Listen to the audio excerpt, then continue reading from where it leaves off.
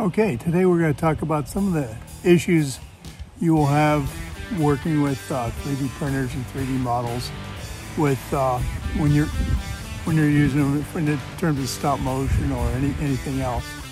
Uh,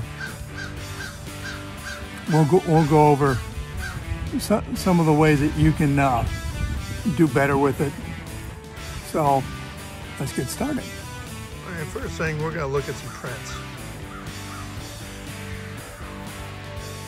See this print here is very faceted. Now, it's an interesting look in some ways, but if you are if you use the same model and use and use it in a uh, 3D rendering program, the rendering program would take care of all the all the facets and that and make it look a lot more smooth. But th this is just, you know, it prints out the the geometry that you give it. So this is this is what you get. So here, what we did is we went up a level and we did a, an additional level of smoothing here. And you can see it's pretty pretty dramatic what happened. Uh, you don't see any of the faceting in here.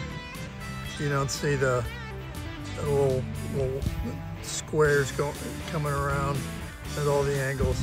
So, so if you are making something to print on the three, it, I would say ideally you use an additional le level of smoothing over what you would normally use.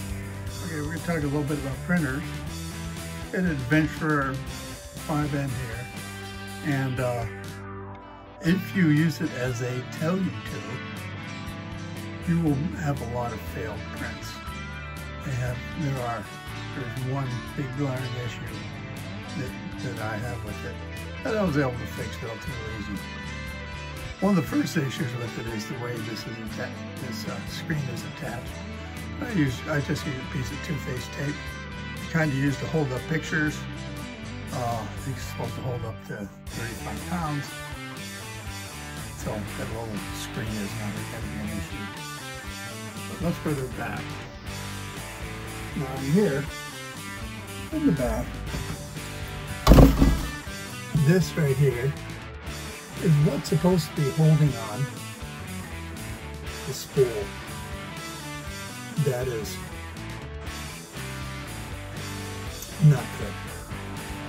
Basically, then after you get it through here. It's supposed to go through this tube. Put in this tube, goes through this tube, and it's supposed to come around here and come down. There are a lot of points of contact, a lot of points of failure. Now, let's take a look at how I actually set it up.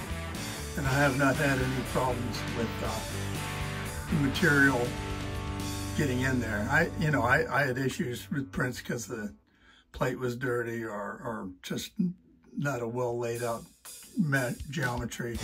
But as far as getting the, getting the material into the printer, it's not a problem using this method. What I do is I go, go straight up, and that's where the spool is. And it's always coming down, straight down from there. It is a pretty simple setup the board, you know, the three boards, we get two spools, and they come both coming straight down. We use a piece of uh, three, four, three quarter inch conduit is what we're using, and we're not using anything else. That's it. It doesn't move around so much that you know, the conduit comes out or falls down or anything like that has never happened. And I've used quite this for quite a few hours. So if you're doing 3D prints and you're having problems with like the material not coming off properly, find a way to get the material overhead and drop it straight down into your machine. And you should see those come away.